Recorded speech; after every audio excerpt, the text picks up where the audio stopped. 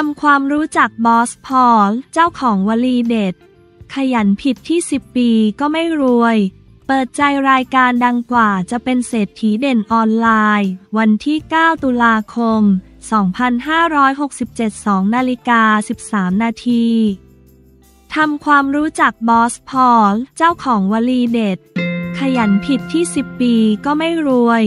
เปิดใจรายการดังกว่าจะเป็นเศรษฐีพ่อก็ทิ้งไปตั้งแต่อายุสามขวบ เริ่มทำงานประจำครั้งแรกได้เงินเดือน 6,000 บาท เรียกได้ว่าไม่มีใครไม่รู้จัก และมีแต่คนอยากรู้จักมากขึ้นจริงๆสำหรับ CEO สุดฮอตเจ้าของวลีเด็ด ขยันผิดที่ 10 ปีก็ไม่รวย ที่เคยโด่งดังจากการออกรายการดังสำหรับบอสพอล หรือพอลวรัตพล วรัตวรกุล ผู้บริหารบริษัทชื่อดัง ดาราดังร่วมงานเพียบไอดอล แวดวงการเงินเจ้าตัว เคยเล่าในรายการดังว่า ต้องต่อสู้ชีวิต ฝ่าอุปสรรคมาเยอะ เคยเป็นทั้งเด็ก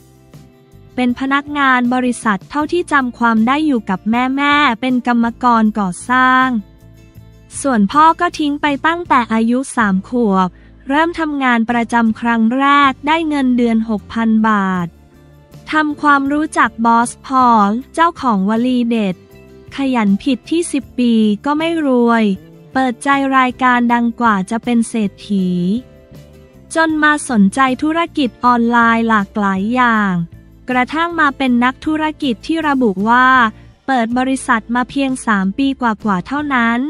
แต่มียอดขายทะลุ 5,000 ล้านไปแล้ว ในปี 2564 เรียกได้ว่าเส้นทางชีวิตไม่ได้ร่ำรวยทำงานหาเลี้ยงชีพตั้งแต่ยังเรียน เป็นเด็กเสิร์ฟในร้านอาหาร พร้อมทำงานพิเศษอื่น จนมาประสบความสำเร็จในแบบนี้ ขอบคุณ 2020 Entertainment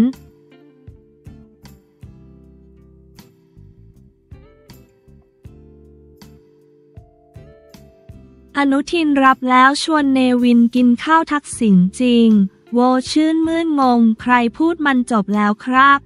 นายการเมืองวันที่ 8 ตุลาคม 2567 14นาฬิกา 1 นาที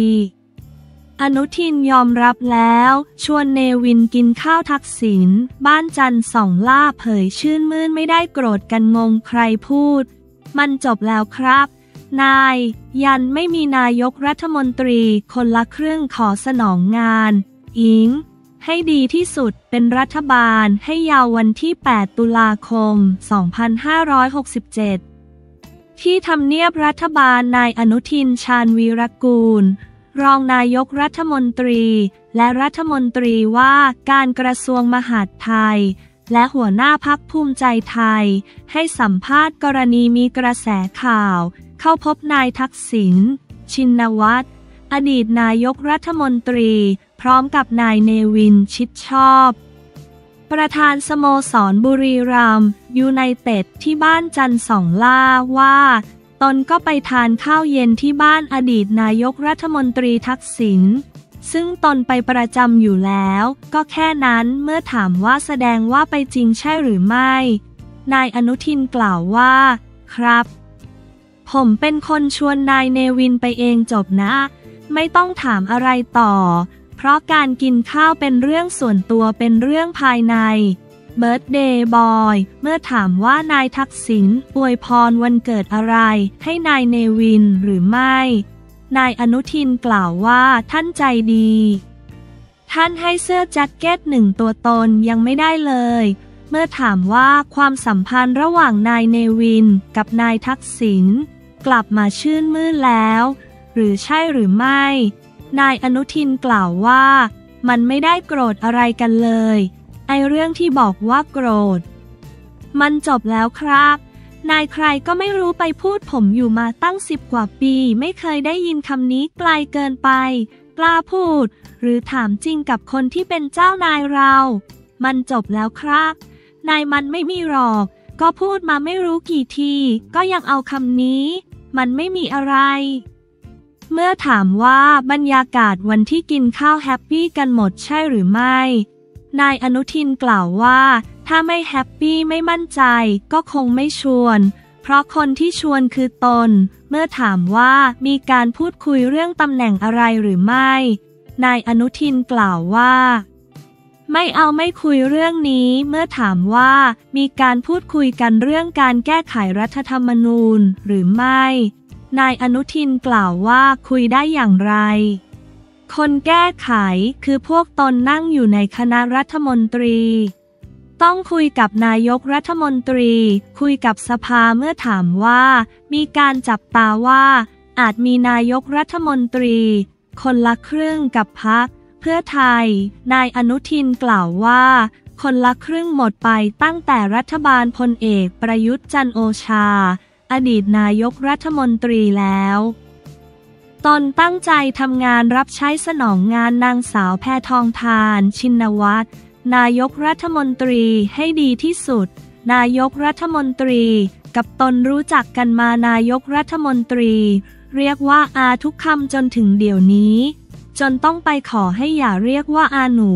มันไม่ได้แล้ว เดี๋ยวนี้นายกรัฐมนตรี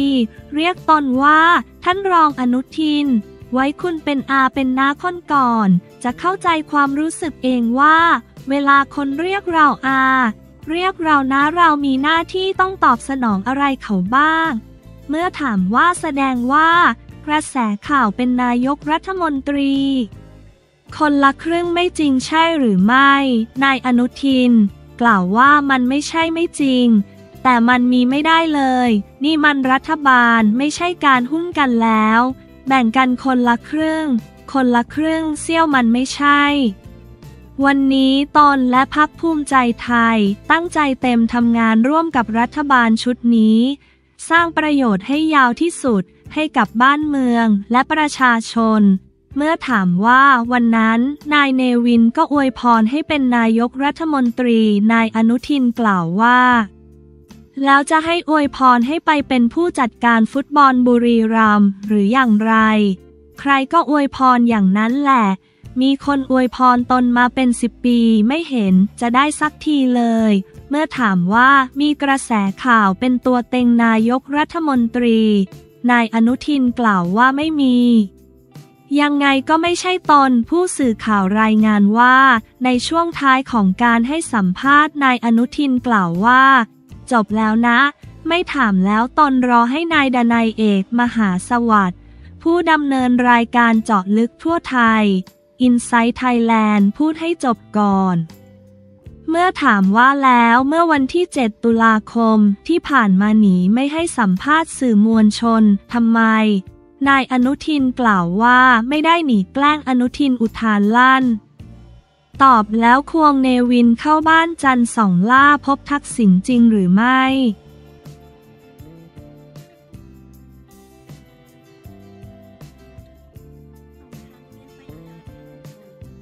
โซเชียลถล่มยับ ถามปมเดือดแซมยุรนันมินพีชยา คอมเมนต์แทบแตกบันเทิงวันที่ 9 ตุลาคม 2567 11นาฬิกา 27 นาที โซเชียลถล่มยับ ถามปมเดือด แซมยุรนันมินพีชยา จี้ให้ออกมาตอบคำถามสังคมด่วนฟาด มีดาราคนดังเกี่ยวข้องอีกหลายคนทำคอมเมนต์แทบแตก เมื่อวันที่ 9 ตุลาคม 2567 กำลังเป็นประเด็นเดือดในโลกโซเชียลขณะนี้ เมื่อผู้ประกาศข่าวคนดัง หนุ่มกรรชัยกำเนิดพลอย ออกมาทิ้งปมเดือดถึงบริษัทขายตรงชื่อดัง ที่ใช้ดาราตัวท็อปของเมืองไทย เป็นพรีเซนเตอร์ สร้างดาวไลน์ขายฝันให้ประชาชนมาร่วมลงทุนสุดท้ายไม่เป็นตามที่พูดทำเอาชาวเน็ตแห่เดากันยกใหญ่ว่า เหล่าดาราดังที่ร่วมขบวนการนี้คือใครอ่านข่าวเพิ่มเติมนมจ่อแฉ บอ ขายตรงใช้ดาราตัวท็อป ร่วมงานชักชวนขายฝัน มีคนร้องเรียบเพียบภาพ ประกอบล่าสุด ก็งานเข้าแบบไม่ทันตั้งตัว เมื่อรถทัวร์คันใหญ่ แห่ไปจอดหน้าบ้านทำเอาคอมเมนต์แทบแตกสำหรับนักแสดงระดับตำนาน แซมยุรนัน และนางเอกสาวตาคม มินพีชยา โดยมีชาวเน็ตเข้าไปคอมเมนต์ถามแบบรัวๆ ถึงปมเดือด รวมทั้งตั้งข้อสงสัยว่า ทั้งสองคนคือดาราที่เกี่ยวข้องกับเรื่องนี้หรือไม่ โดยแซมยุรนันได้โพสต์ภาพผ่านอินสตาแกรม